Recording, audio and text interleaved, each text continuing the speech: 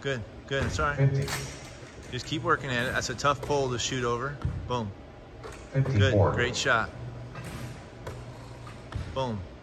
47, Good. That's nice rotation.